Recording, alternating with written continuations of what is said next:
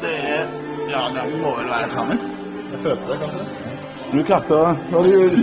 Du gjemte deg gjemt